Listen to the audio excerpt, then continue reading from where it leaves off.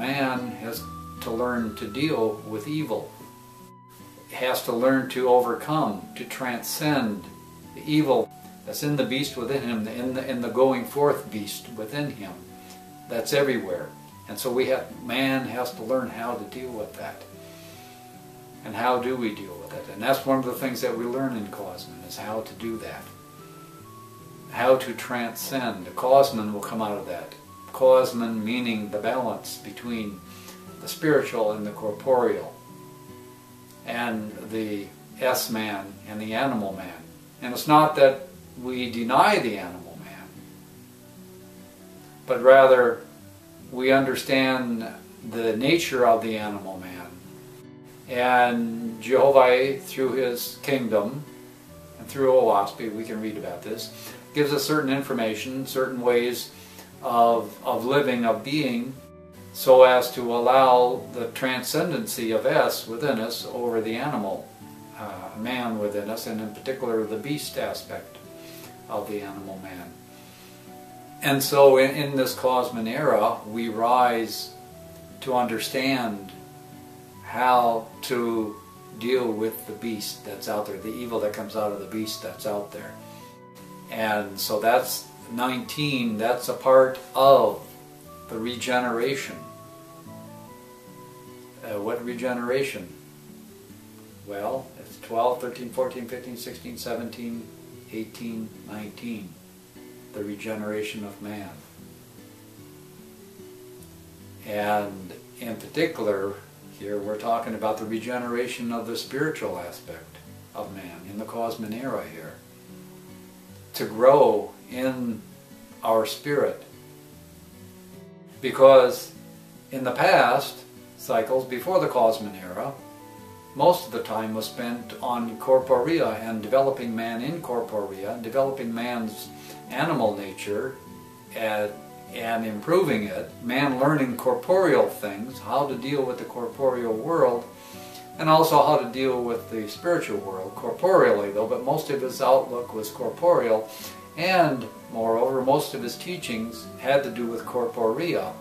Although he was given some spiritual teachings, most of the effort and energy of the kingdom of Jehovah through his God, gods over the, the, the cycles and his lords was to help man to, uh, to get him to improve his corporeality and secondarily his spirituality. But now that we're in Kosmon and we've attained to comprehensive judgment within the soul, I mean, we have learned sufficient spirituality in the past, but now is the time to actually really grow and blossom in the spiritual aspect of it. It can get nurtured, it can get nourished, it can get cultivated.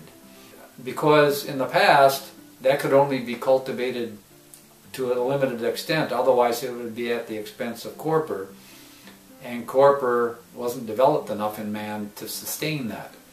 Eh, but now we are as part of this growing process of, of attaining to the S inside of us, because we all have this, this S within us, which is contained living within this corporeal realm, and it's, it's, it's all just the same person here observing both corporea and S, and everyone can attain to this, not only because it's because we have testimony that it's so, but because uh, we can actually prove it to ourselves and through the faithless discipline which is given in Oahspe, and Oahspe says, hey, here's how you can attain to, to know these things. Th that man will, from his S, from inside him, which is the feminine, and, and the receptivity from that foundation that he will he will learn how to keep the S alive, how to keep the spirit flowing and well and in light, even in the midst of sabia, even in the midst of evil expressions of the beast. And, and we and we grow and in our S and we learn how to deal with that. That's the time that we're in, and that's the importance, one of the importance of 19. So all these these these uh, seemingly so-called bad numbers are not necessarily bad. They may be uh, challenging and, and, difficult to to do, to deal with, to learn how to uh, gain mastery over, but it can uh, happen that that we transcend above it and learn how to go forth in, in Jehovah's light and in His flow. So that's 19. And when we get, then we get to 20, which comes enlightenment. Ah, finally enlightenment. Number 20 in Se'moin is the enlightened man. Now, this is, this is his higher aspect that we're talking about, but in the lower aspect, the enlightened man basically simply means a corporeal enlightened. Enlightened as far as corporeal things. It doesn't necessarily mean enlightened according to S things. But in Kosmon, we will grow enlightened in S things. Corporeal enlightenment does not mean that we have to forego growing in spiritual enlightenment. And we do learn from Oahspe that whatever is nurtured will grow, and part of Kosmon is to learn this balance between S and corpor. 20 then is going to be the sustaining of the good that's in man, right? Because you have 12, 13, 14, 15, 16, 17, 18, 19, 20. That's number 9 on this the objective row of Se'moin, and 9 on the subjective row. 9 on the higher row is Eloi, the sustaining of the good. And so it is our enlightenment that can sustain the good that is within man. So that's one of the meanings of, of number 20. Uh, another thing that uh, 20 means is you can look at it as, as the soul that comes out of wisdom. And so uh, that's what the number means, 2, 0, 20 is the soul, that soul being zero, that comes out of the wisdom, the 2. Because the, the 2 is in the uh, it's like the next rank up.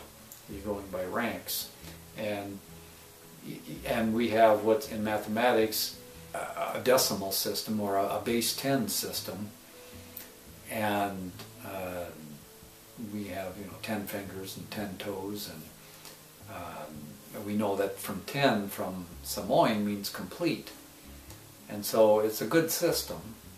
Uh, there's other meanings associated with that can be associated with 20 because what we did with 17 and 18 and what we did earlier with man and looking at these different uh, entities, these different realities as a foundation and seeing how, how man, for example, relates to the earlier entities and, uh, and, and even later entities. We can see all these relationships. We can do the same thing with, with 20 and we can do the same thing with 21, which is the Oki, which is the next number. And 21 has to do with the home.